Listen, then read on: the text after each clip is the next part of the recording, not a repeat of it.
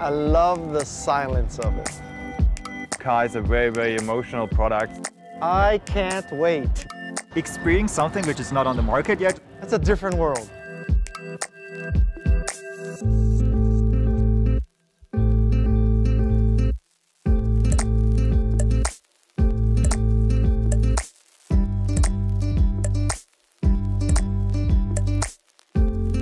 So it doesn't feel like driving is the right word for it. Seamless, efficient, beautiful.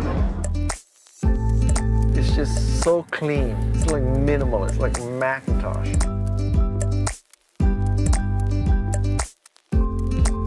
Has to have the ability to carry surfboards.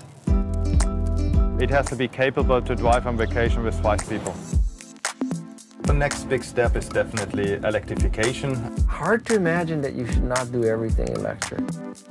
It is an instrument of bringing people closer together. Fast, quiet, no emissions. For the win.